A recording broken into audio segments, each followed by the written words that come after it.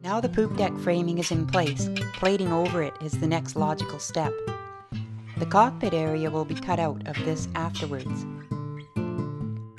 But winter dealt a severe blow with minus 20 degree temperatures and lots of snow. So we had to put a hold on the project, presuming to restart in the spring. At least there's a good place to park the car now. February was an unusually warm month, so the bug got us and away we went. It was decided unanimously to put in the aft bulkheads. As you probably know, bulkheads divide off areas of the boat for privacy, extra space, and in our case, safety. We saw this really neat method of battening in a bulkhead on TV of all places. Little fencing sticks are hot glued together to make the exact shape of the hull at the exact location of the bulkhead will be. The templates are carried down and positioned correctly on the plate, and by the end of the second day, both sides were in.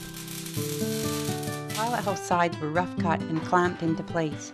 There's no frames in the plans so as to create a fair and smooth transition.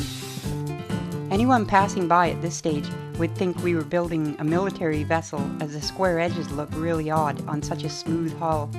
But once the framing begins, we'll be able to cut out the real shape. Next, the pilot house rooftop frames must be cambered. Back to the old bender I go.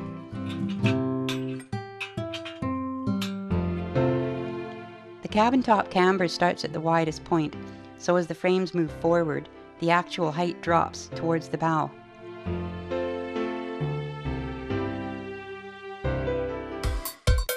What a cool looking framework. The top sides are really starting to look like something. But from below, it resembles a U-boat still. Now would probably be a good time to explain how to do away with those unsightly, sharp and dangerous corners on the cabin sides. Where the edges are, some people are just happy to grind and leave the corner in a bit, and leave it at that.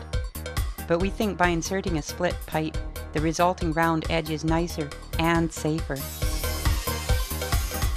Attaching it is a lot of work, but the results are well worth the extra effort. While I was doing that, Gina was teeing the cabin top frames and preparing to put on some cabin top plating. Teeing is just adding some flat bar to the bottoms of the frames so the interior can be attached. The plate was laid over, traced from inside, and cut. The forward edge of the cabin should flow, so I decided we should have a nice round curve. Now to get the rest of the roof on. Welding had to be done with care because the plate joins in between frames. The split pipe was carefully smoothed in and once it was ground smooth showed a very fair curve. That's eye candy to us boat builders. Because the poop deck is two feet higher, we figure some steps might be in order. The plans weren't at all specific in this area and just showed a shape along the side of the pilot house. What was behind that shape was certainly a mystery. As the case usually is, the right way is the hard way. Making the steps and sections ensured good alignment, nice round edges, and unfortunately a lot of work. I'm not sure, but this might be the most complicated thing we have made yet.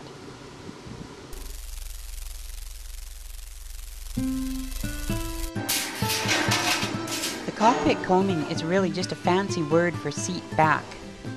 The angle level dial indicates the seat back slope is 75 degrees. We must figure in some ergonomics and make the cockpit comfortable as this is the spot where we'll spend Yeah, a lot okay. of time while sailing.